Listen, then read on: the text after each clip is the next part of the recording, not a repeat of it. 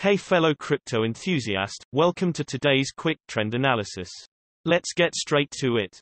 Today, find out how the price of Ethereum has changed and what the technical indicators SMA, RSI and stochastic RSI show.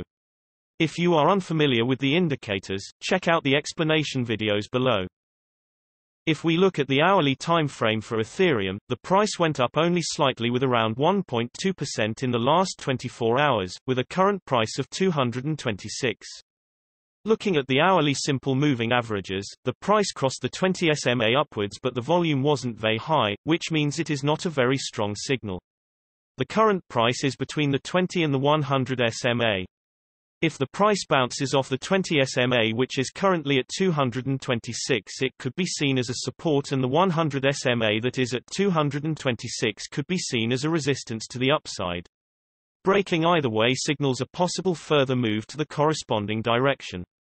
It's important to note that currently the price is below the 200 SMA, which is normally a strong resistance.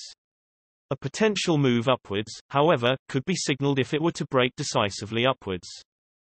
Looking at the hourly relative strength index, the current hourly RSI is at 51, so there are currently no signs of the crypto being overbought or oversold.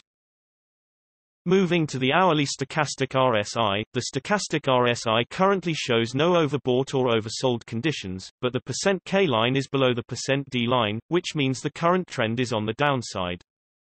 Looking at the three hourly simple moving averages, the current price is between the 20 and the 50 SMA.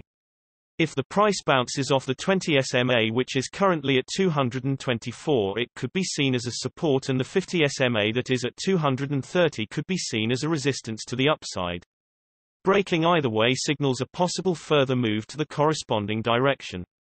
It's important to note that currently the price is below the 200 SMA, which is normally a strong resistance. A potential move upwards, however, could be signaled if it were to break decisively upwards. Moving to the 3-hourly relative strength index, the current 3-hourly RSI is at 49, so it doesn't show signs of overbought or oversold conditions at this point. Moving to the 3-hourly stochastic RSI, both the percent %K and percent %D lines are in the higher region, which means that the price is getting overbought and soon a trend change or at least some kind of consolidation could be expected.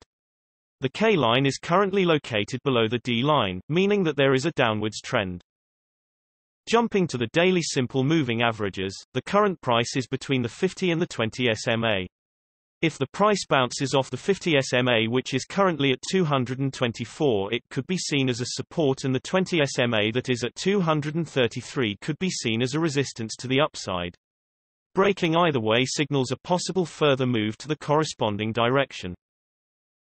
Looking at the daily relative strength index, the current daily RSI is at 47, so it doesn't show signs of overbought or oversold conditions at this point.